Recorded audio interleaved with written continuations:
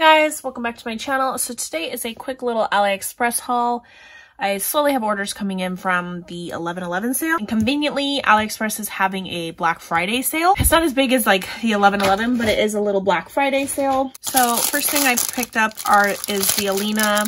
I already had the three milliliter or three millimeter tape. I went ahead and picked up the, this one's five milliliters. So it's, why do I keep seeing liters? Millimeters and then the 8 millimeter. So now I have all three sizes, and this is super strong, and I want to start using these for my dies, because this is the tape that Alina uses when she sends your package and the dies have not moved. It's this tape. And then I went ahead and picked up these cute little pink, um, I needed some different plier cutters than what I had.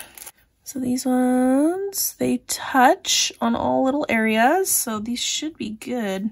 I mean, I don't know until I actually like use it on wire, I guess, right? Okay, let's test, let's cut this jump ring. Oh, oh, okay, well, it works. Cute little pliers, I needed some, and they just happen to be pink.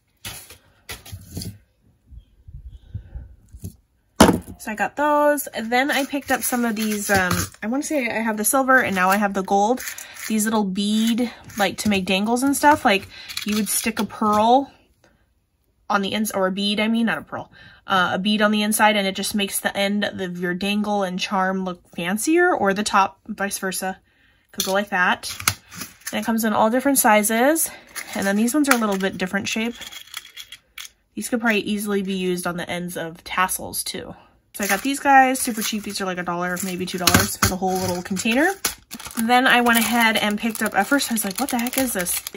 I went ahead and bought this little, um, it's the Mrs. Claus so it's a tag, but you could easily cut the tag off and you could easily um like use her on top of any bag topper you have and just already plop her on the bag topper.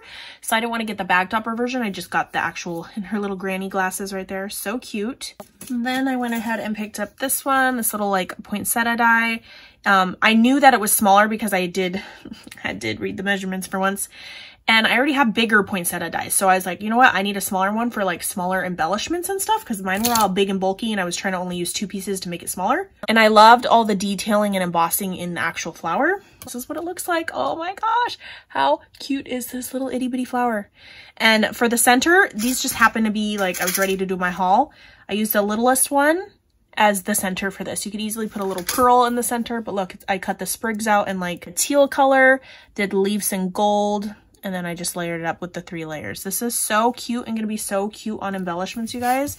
It's like the perfect size. I'd say from one and three fourths inch, maybe. Like one, it just depends on what point of the flower you're on.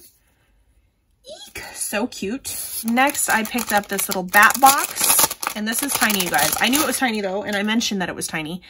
Um, for a Halloween, you could easily put a little um, Hershey Kisses in here, and then it all folds up into a bat-shaped box.